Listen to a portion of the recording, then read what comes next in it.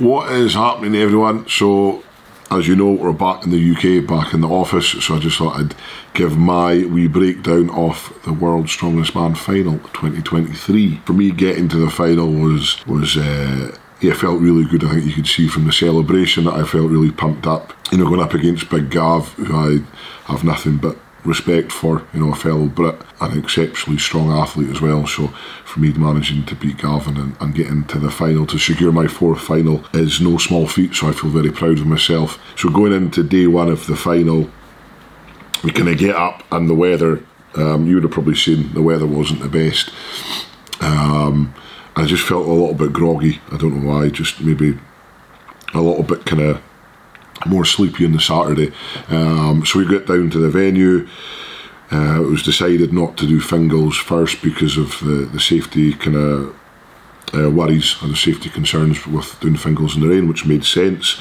So we decided to go and do the shield carry first. So for me, the shield carry, I was up with the big Evan. It, it was okay, you know, it wasn't a great performance again. I was maybe a little bit kind of sluggish off, off the bat, just maybe not as kind of pumped up as I should have been. I don't know if that's maybe from having a day rest on the Friday. Um, kind of your adrenaline kind of kind of drops down. But still, it was a relatively decent performance. A little bit hard to see um, Big Pavlo, old handsome Pavlo, you know, getting penalised. Uh, you know, it's a difficult one because obviously Pavlo never crossed the line. But for me, Pavlo should have won the the shield carry. You know, he was the the best athlete at that event, and and I think that he should have won the the event. Um, but the referees had to make a decision, um, and you know it was decided to penalise Pavlo um, in quite a severe way, I guess, which then meant that um, I believe Mitchell won that event, and we could have we could sit here and say I should have done better, Tom should have done better. Pavlo should have done better, Mitchell, you know, whatever. But the the way it was, um, you know, I think I finished towards the end of the pack. Tom got second, Mitch won that one. Um, but for me, I, I feel yeah, a little bit sorry for Pavlo. You know, it was just one of those unfortunate situations, and you know the referees at World's Strongest Man, as as well as athletes, we all try and do the best job we can. And I know Dave Warner, nothing but love and respect for Dave, uh, and Dave does the best job he can, um, and hopefully, you know, we all learn from stuff. Athletes learn everything. Sorry, athletes learn from every show that we do as referees do as well. So maybe in the future you know, there's ways and means that we can kind of um, make it a lot easier uh, for the athletes to see when they've crossed the line. Because I think when we carry such a big shield, it is difficult to see if we've crossed the line um, without slowing down. So I think Pavlo tried to keep his speed, turn, and then go back. And by him keeping his speed, unfortunately, he never crossed the line, which again is one of those things. Uh, and I'm sure Pavlo will be kicking himself. Second event, we had the deadlift, so it was like a deficit deadlift, the Kanak deadlift. Um, it was about 360 kilos, 363 kilos for reps. I, I was up against Big Brian myself and Big Brian went out. It was pouring with rain at this time. The warm ups had gone well for me. Felt pretty comfortable. Warmed up to I think 320, 330 kilos, nice and comfy. But just got caught off guard. I think a little bit with the deficit of the deadlift. That's something yeah I really need to put the work in um, in this season to to kind of get better for next season, which you know it is what it is. Again, credit to uh, Big Mitchell for smashing out. I think he did eight reps for this one. So great performance from Tommy as well. You know, Tom putting in a in a statement. I think in the deadlift. You know, we all saw Tom at the Arnold's a few weeks ago how under par I think his deadlift was. And I don't think Tom will mind me saying that, but for him to have a few weeks training and come out and smash the deadlifts the way he did, I think again credit where credit's due. I think that's a huge improvement for Tom, and yeah, really really proud of Tom for putting in the work and kind of going going to those dark places to, to smash out that, that reps. And it was pretty cool to do deadlifts with Brian again in the pouring rain for me. Yeah, it looked, it looked pretty cool doing that. I should have got another extra couple of reps. Um, but yeah, just wasn't firing as well as I should have done. Um, we get days like that, which is a bit of a pain. It happened at the the first day of the final. I was happy in the sense that I didn't let it kind of get to me. You know, I knew that I could still kind of get that adrenaline back, still get that aggression back, and it was slowly coming back. So yeah, deadlifts was okay. Then on to the Fingals. So the sun, thankfully, had come out, it dried up everything. It was, you know, we all checked the ground. It was all safe. The Fingals were dry, and this was this was a cool event.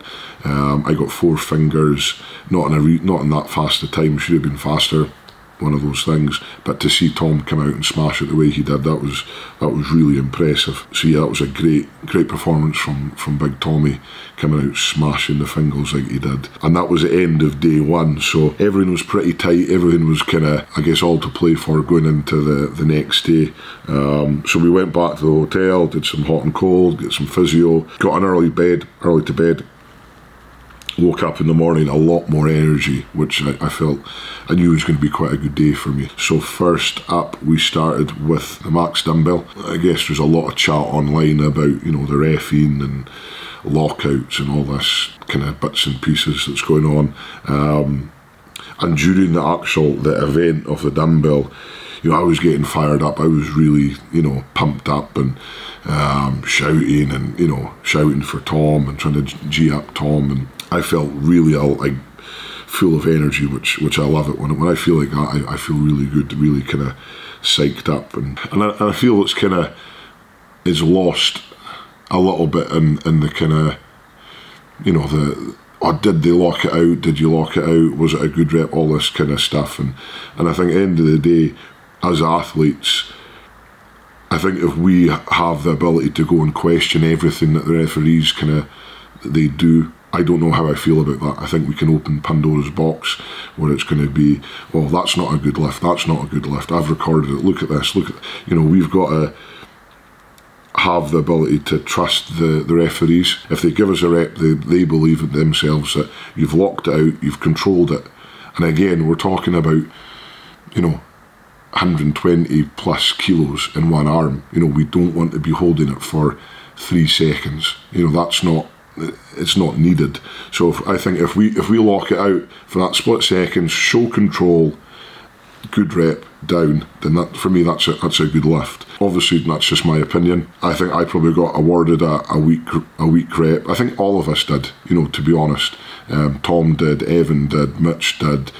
You know, all of us athletes. You know, we all do get awarded maybe debatable uh, rep sometimes, and that's just the way it is. And for me, I don't like it when we as athletes have the ability to go and record each other's lifts and be you know going up to referees oh look at this. This isn't a this isn't a good rep. This isn't a good rep.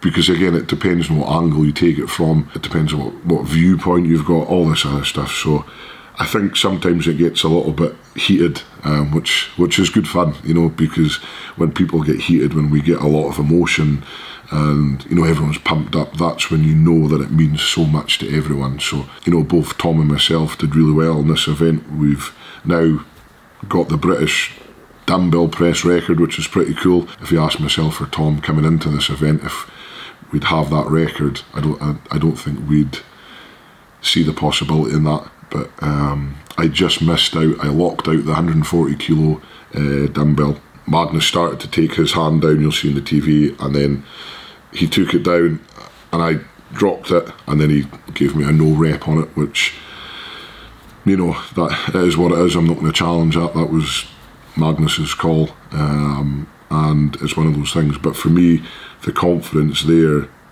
that I can press 140 kilos is huge now. So I know that I'm one of the best pressers in the world, not only on log press but on dumbbell press as well, which which is a huge boost of confidence, and I think it's a huge boost of confidence for Tom as well. So, um, you know, so hats off to Mitch and Big Evan for taking the win in that one. They they both pressed really well.